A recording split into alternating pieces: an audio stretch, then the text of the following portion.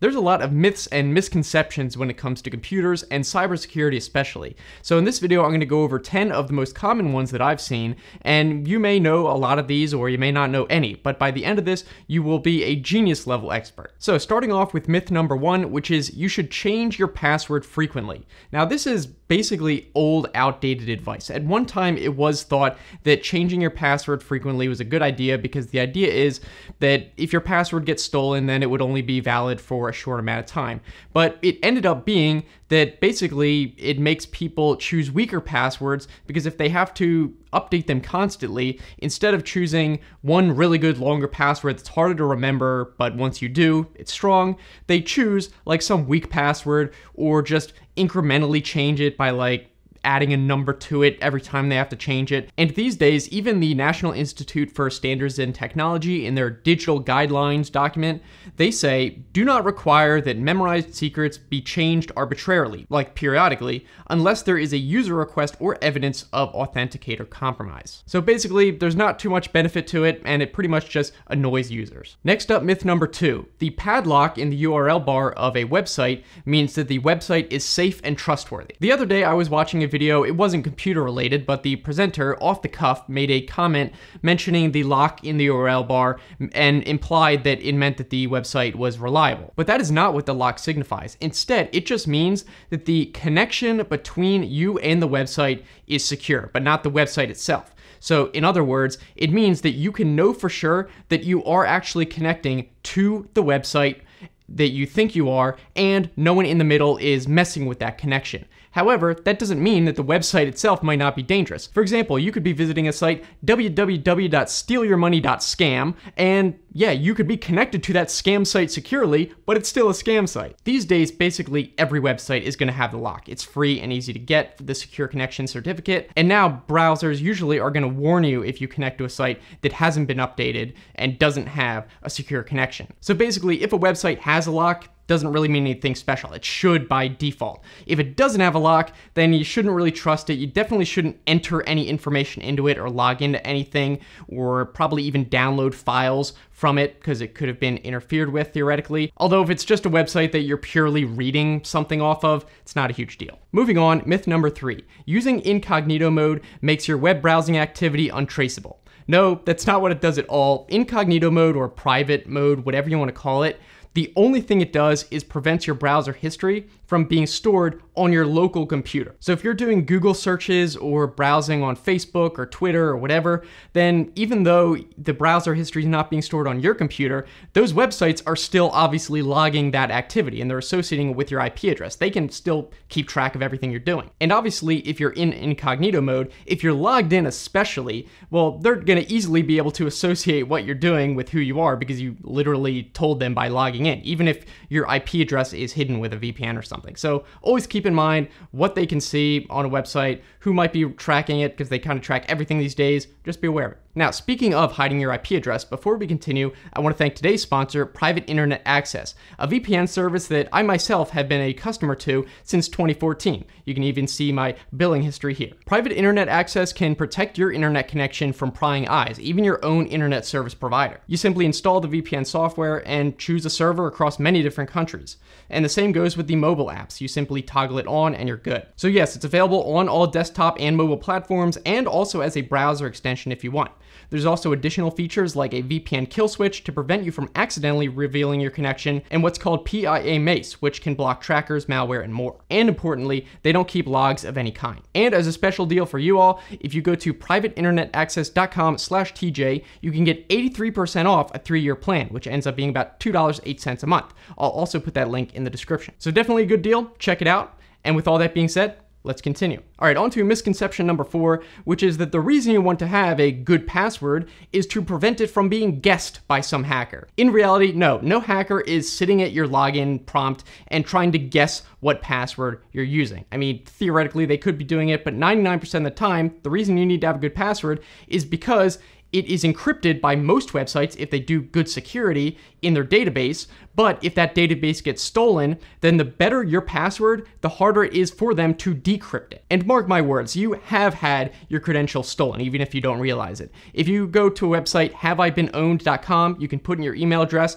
and they'll notify you and let you know what breaches you have been a part of. And definitely, if you use passwords on those sites, then you better change them or have changed them long ago. Now, to put it in more specific terms, basically any website, when you type in your password, it encrypts it. You can think of it as technically it's called hashing. They do some other stuff like salting. Not going to get into the specifics, but basically it's stored not as your actual password, but especially encoded version of it. And if that password database gets stolen, what the hacker is going to try and do is go through the entire database of these encoded passwords and brute force them using computers to calculate what passwords must be associated with those encodings. And here's the key the stronger and longer your password is, the harder it is for those hackers to do that for your particular password. So they'll be brute forcing all these calculations against all the passwords, and the people who use the weaker passwords, theirs are going to be found. Whereas if you use a strong password, your password may never be detected and found by those hackers. So yes, if you find out a website has had a data breach,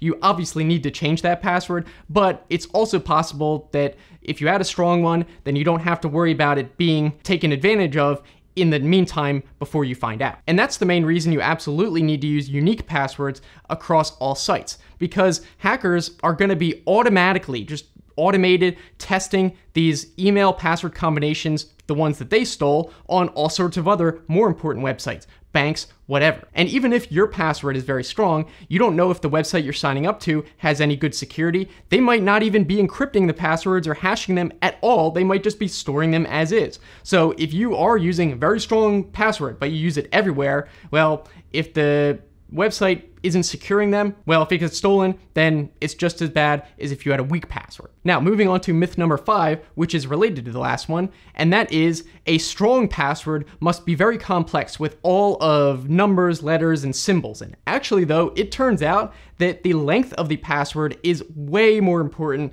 than the actual complexity of it. For example, a 15 character password that is simply just lowercase letters, no numbers or anything special in it, is 10 times as secure as an 11 character password that has all character types in it. And you may have actually even seen a webcomic XKCD. They did a comic strip about this a while ago that illustrated this how if you have a very long password, it's easier for you to remember, but way harder for a computer to crack or brute force. Now, all that being said, there is some nuance to this, and I personally would still recommend you do use complex passwords with special characters and all that, because it undeniably does make your password more secure no matter how long it is. It's just that if you can also make it longer, that's the ideal situation. And here's why. If you happen to unknowingly use a combination of words that a lot of other people do too, just because we're human and we're kind of predictable, then attackers are probably not even going to try to bother checking every single password letter by letter. They're instead just going to try word by word and common word combinations, which will be a lot faster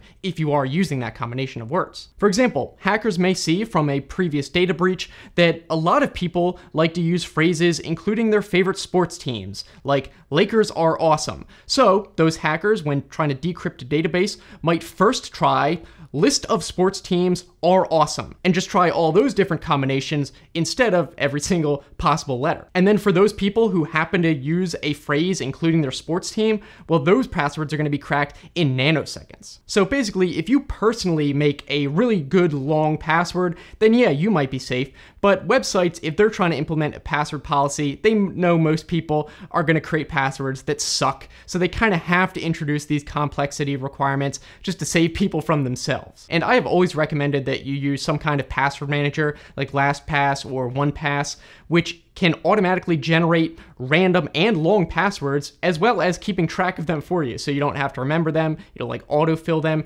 Definitely a better situation than just trying to remember them and use similar passwords on everything. That's never a good idea. Just try a password manager. All right, now for number six and seven, these are basically two polar opposites. The first is that if you're good with computers, you don't need antivirus. And the second one is if you have antivirus, you don't have anything to worry about. The truth, of course, is somewhere in the middle. Even if you are really good with computers, yeah, you are going to avoid 99.9% of viruses, whatever, by not going onto shady websites, being skeptical of downloads, but you never know, something might slip through. There might be a zero day vulnerability that infects you without you even doing anything to interact with it, stuff like that. So you do need to use some kind of antivirus, even if it's just the one built into Windows. As long as you keep that up to date, if you're good with computers, that's probably enough. On the flip side, relying completely on your antivirus, even if it's like a top rated third party one that you have to pay for, that is also a recipe for disaster because there's new viruses and new ways that hackers are coming up with every day to try and circumvent these things. So if you happen to be unlucky enough to be one of the first people that gets exploited by a new technique, well then your antivirus might not be able to detect it until it's too late, and then you're kind of screwed. So for the best overall antivirus, remember this, ABC, always be crazy suspicious. I just came up with that, but it's true. If you're skeptical of any kind of link that gets sent to you over email, especially documents that are attached, then you're better off than people who think, oh, my antivirus is fine, I'll just click all this stuff, it'll protect me. Same goes with other files you download from the web. If you're not 100% trustworthy of the source, you gotta be skeptical with that sort of stuff. Maybe upload it to a website like VirusTotal, which actually runs it through like 50 different antiviruses. And then you can kind of tell, all right, if there's no results, or maybe like one result from some antivirus you've never heard of before, it might be a false positive. But if you upload it to that site and you see like a whole bunch of hits, well, you can probably know not to trust it. So just being suspicious in the first place will get you a long way. All right, on to number eight. This one's also related to viruses. And that myth is if you have a virus, you'll know it. Now, back in the day, most viruses would be pretty obvious. You'd get like pop ups, ads all over the place. You'd be like, what is going on with this? And you could probably know to maybe scan for virus or figure out what's going on. These days, malware is usually going to be a lot more sneaky. Yes, there is adware out there that makes pop ups and just injects ads into websites that you know shouldn't be there, but sometimes they're really sneaky about it. They might replace the ads that are actually on a website with the ones that the virus is trying to promote. So it might not even seem out of place. And some malware does everything it can to not be seen at all. You know, it's not even going to show up as a program. You might barely be able to see it if it's running in the background, if you check Task Manager yourself, stuff like that. And for keyloggers and rootkits, which pretty much can control your whole computer, that's something basically you're not going to even know about unless your antivirus detects it. And of course, when it comes to ransomware, you will eventually find out that you got infected, but not until it's too late. So that kind of goes back to the previous one. You don't have to be paranoid all the time, but you do have to be diligent and maybe for the peace of mind, run a full virus scan every once in a while. All right, coming near the end, we got a couple more. And number nine is that a strong password is all you need to secure your accounts. But these days, you also really should have two-factor authentication enabled on any account you care about at all. So basically that means if you're logging in, you would also get a text message with a code on it, or better than SMS is a authenticator app like Authy or Microsoft Authenticator. There is Google Authenticator, but you can't really back that up. So I do recommend like Authy or Microsoft Authenticator instead. But actually the most secure and easiest method of two-factor authentication is a physical security key. And these are actually really easy to use. You do have to buy it, but if a website does support it, which not all do, then you register it with the website. Anytime you want to log in, you just tap the security key. And the way it works is it connects encryptingly with the website, and it's done in such a way that it cannot be phished. Even if a hacker steals your login credentials by tricking you, and they somehow trick you to press the button on the key, well, they are not going to have that secure connection to the actual website and they won't be able to use that key at all. In fact, there was two security companies, ironically, Twilio and Cloudflare recently, that got attacked by phishing attackers. Like it was a sophisticated, well coordinated attack, and Twilio, a couple of their employees got phished. And even though they used those code generators, I believe still, the attacker was able to just phish the code from them. Whereas Cloudflare, on the other hand, they also had a few employees phished. However, they use hardware tokens, hardware security keys, and those are not phishable. So even though three employees at Cloudflare did get phished, the attackers were not able to access anything because they could not get past that hardware security key. So I definitely recommend those. And the main company that makes these are called Yubico, and they make some that are like cheap ones. I think they're like 20 bucks, and some more sophisticated ones. I have both types of these, and I'll put links in the description if you want to check those out and learn more about them. Again, not every website is going to support them. Most big websites like Google, Microsoft, Facebook, they all do. All right, and finally, number 10, the myth is if you delete a file, even if you empty the recycle bin, or even if you do a quick format of the hard drive, that it's irretrievable. And that's not true. If you delete a file, even if you delete it from the recycle bin, what that does is simply marks the spot on the hard drive as being free and can be overwritten by anything that wants to. But if no program comes along and overwrites that data, then it's still going to be there and you can use special programs to retrieve it back if nothing has overwritten it. And as for quick formatting a hard drive, I made a whole video talking about this, but basically quick formatting a hard drive, even though it makes the whole drive look completely empty, it basically just rewrites the beginning part of the drive to say, again, that everything is free, even though that data is technically still there. Now, if you don't do a quick format, it will basically write zeros to everything, so that is way more secure, obviously, but I'd probably recommend just watching that other video for more details. So hopefully you found this video helpful. If you did, give it a thumbs up. And if you want to subscribe, also be sure to click the bell and enable all notifications. These days, even if you subscribe, YouTube still might not show you this stuff. So consider doing that as well. And if I missed some myths that you think I should have included, let me know down in the comments. We can talk about that down there. Also, thanks again to Private Internet Access for sponsoring this video. Again, you can check the link down in the description, get that special deal for the three-year plan. If you do want to keep watching, I'll put a link to that video I mentioned talking about quick formatting and what exactly formatting a hard drive does. I'll put that right there. You click on. So thanks so much for watching, guys, and I'll see you in the next one.